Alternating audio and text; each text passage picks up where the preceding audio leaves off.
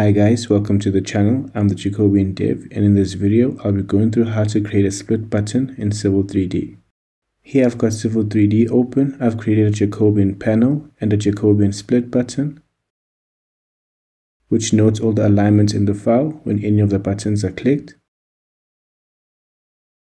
To get started I'll navigate to Visual Studio where I have the button tab Civil plugin set up this is the plugin which was created in the button and tab civil video. I've added a link to the project and video in the description. I'll start by renaming the add ribbon tab function to add ribbon tab split button.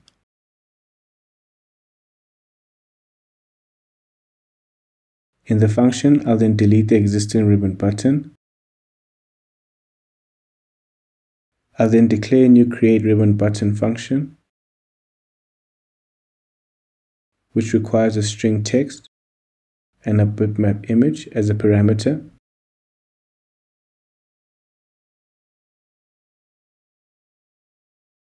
The function returns a new ribbon button. I'll set the text property equal to the text input.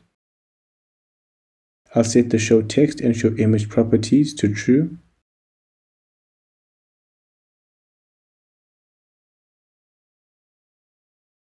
I'll set the large image equal to the image. And lastly, I'll set the command handler property equal to the ribbon command handler.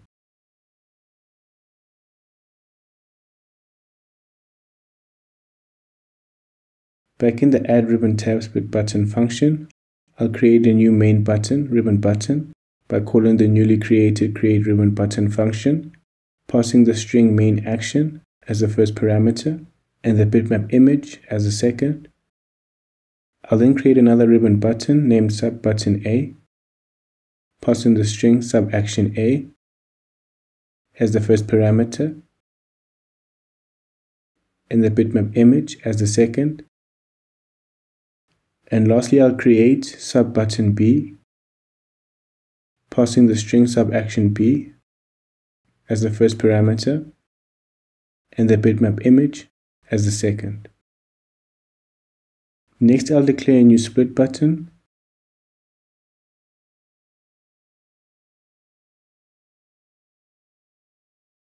I'll set the show text and show image properties equal to true. I'll then set the size property equal to large and the command handler equal to the new ribbon command handler. I'll then add the main button, sub-button A and sub-button B to the split button.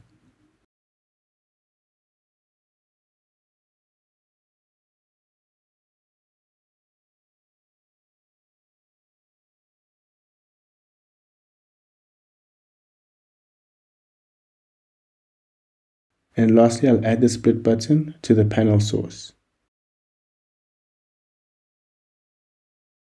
I'll save the changes and debug the project.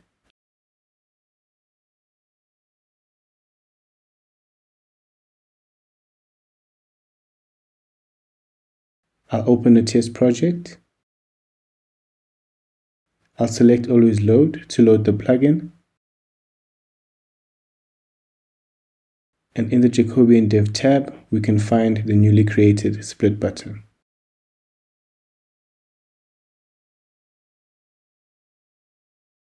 That should be it for this video. I've added a link to the repo in the description. If you have any comments, please leave them in the comment section below. Please don't forget to like, share and subscribe.